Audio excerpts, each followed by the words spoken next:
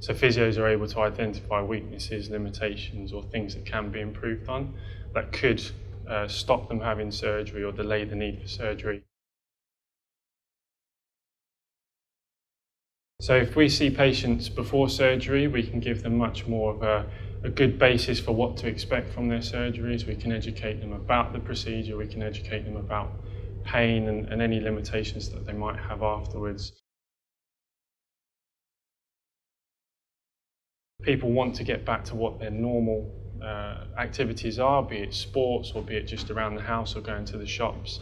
However, following surgery, this isn't always possible or easy. So physios can help facilitate people through those stages, um, achieve their goals, but do it in a realistic way.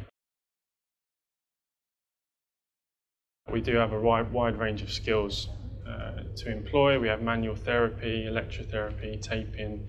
Uh, we also do biomechanical analysis and uh, gait scanning, as well as all our other normal skills. And often, if it's as simple as a bit of exercise prescription, um, often there's a good benefit in that as well. There's always the potential following surgery, if you don't have any treatment or if you don't get back to your baseline, that you will end up with an inhibition, be it pain or movement. You may end up with stiffness or weakness, and ultimately you run the risk of re injury further down the line.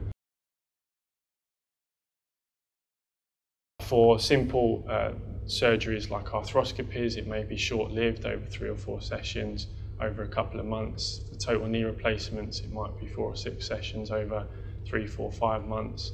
And for anterior cruciate ligaments, it may be an extended period of rehab of up to maybe 12 months to get back to sports, which may involve between 8 and 12 sessions.